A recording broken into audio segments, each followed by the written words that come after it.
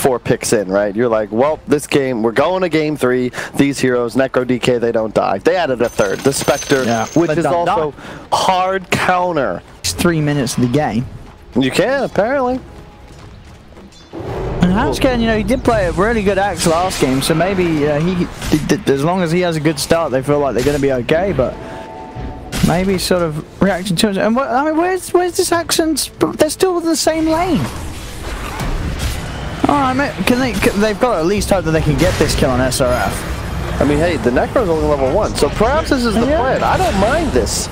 Hounds Okay. gets the first blood, top down, bottom, TFT. They turn it around. They're gonna have another stun up in a second. What the hell? They're actually they're doing it. They're just outplaying them. Oh. Apparently, we don't know shit, Owen. this Arc Warden and Centaur.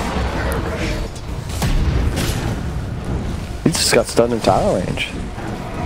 Radiant's middle tower is This is a grim game for Monet. Yeah, I mean it is. Oh, Handsken. Good dive. doesn't doesn't commit straight away with the cause. He would have been just out of range. He may still be able to find. Nice taunt. Handsken again. The plays. Oh, and he got him. This yeah, this is working out. The Jonathan fan is back to farming this lane, back to sort of you know operating as sort of your traditional there. core, but not again. I mean they've got it right. They got the who's uh, stop. They they got him. Looks like. Couple more spins. Ah, and Handsken, he knows the numbers. That was like just on the threshold. Just on the threshold. As he's, as he's crushing. Bessie's in some trouble. Oh, the stun just barely lands. And Handsken again. Can he get it? Oh, Another Oh, no mana, no mana. He's got no mana. Can't go for the dunk. The Venge? Venge is dead. Oh my god. This sort of level 3 battle hunger at 8 minutes in is just destroying everybody.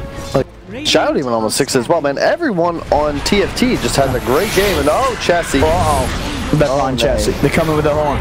Ah, maybe looking for more as they head towards the top lane. Jonas Savani Dean still didn't quite hit that thing. Comes in. Oh! Oh! Oh, this is a nice stun into a call, but is there actually the damage? There isn't. Disruption will come out, but Handsken surely will still fall as he's still alive for now. Finally drops RNG with a five man, making the magic happen as they'll. they'll Wow. They, ju- they, They just got keep on. Wow. Just, oh, that happened also suddenly. Just like we predicted. Yeah. Higgins on Chessie. Not sure I'm a fan of that one. Oh, Jonas fan maybe thinking about going for the jump. Has to be careful with the swap save always being there from 343. Structures are fortified. BKB Dragon Knight. This could be huge. They have a sentry on the right side. He's got to be careful to stay. They're moving forward, stay! He's in straight away, but the call comes out. Got the BKB off in time. They're popping the Stampede. They just want to get out of there. With the Supernova and BKB's used, they're not interested in fighting. TFT, they've lost Jesse. They- They're just ignoring the Arc Warden. Oh, on Frost. Now they'll look towards him. They've got the Reaper Scythe on him as well. That's going to be Frost gone for 75. TFT certainly struggling to tackle the team fights now. Specifically onto those squishy backliners, the Shadow Demon and the Lina of TFT. They're really trying to finish this, but there's a Horn online now. They have to be so careful with how this fight goes. Jumping for stage on top of oh, Jesse. God. Jesse getting disabled and Jesse's gone. Now the axe in trouble. The Reaper Scythe comes down onto Handsken. They lose two around the pit as RNG back towards the Roshan. Buyback from the axe.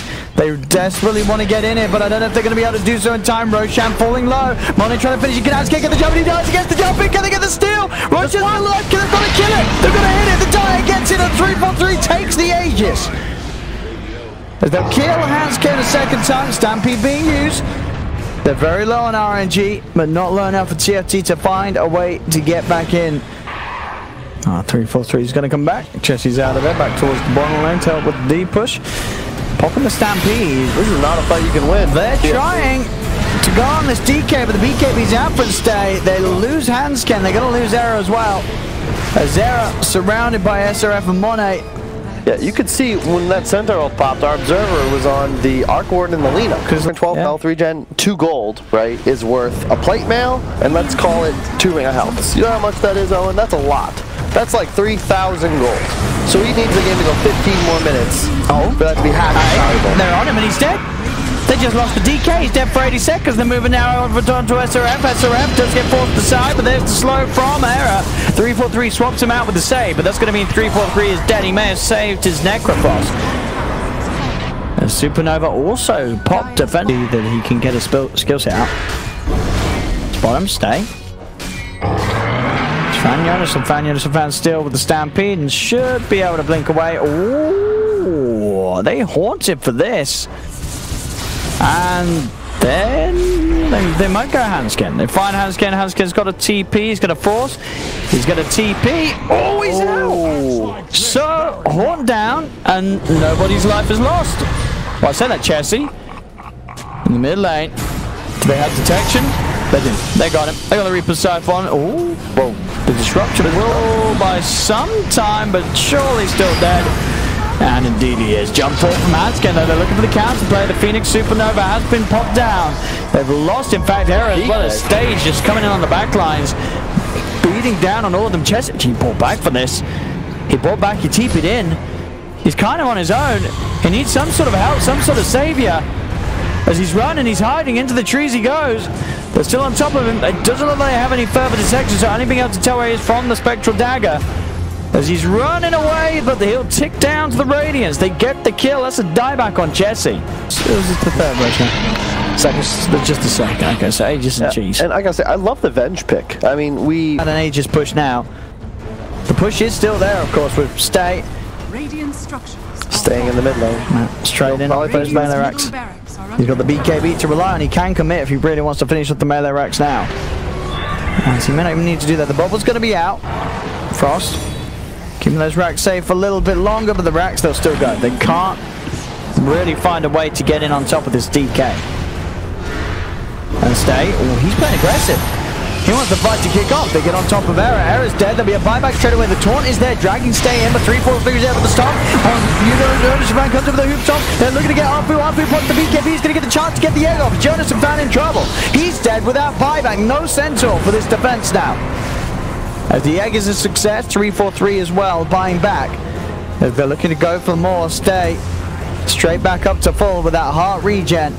They're smoked up. They've got to find some sort of huge jump here with just the four of them, Jesse. Opening up with the Yules combo. But so hard to follow up onto this Dragon Knight. He is absolutely huge. As RNG, 23k lead now. An absolute shambles, but this match, they're back on form. is under attack. I like this too. You don't need the Roach. Just just end the game here. Play with confidence, right? I mean, you could play it a little safer, but you're already so far ahead. You know, just just end the game. Monet still in base, waiting to haunt him. Not really any danger. And Chelsea already. Trying to go in, but the horn comes out. Jump forward, dive forward on the Phoenix. They try to back away. In they go with the Reaper Scythe found on the hands. Ken Axe is dead without buyback. 90 seconds. And the space is there for them to take the melee racks. The fortification does come out. Keeping that range Rex alive for a little bit longer. But with no axe, it's hard to get in. And backdoor protection, keeping that, that rack safe actually. So, but it doesn't matter. Stay jumps in. Disruption there, trying to save Frost, but Frost is gone.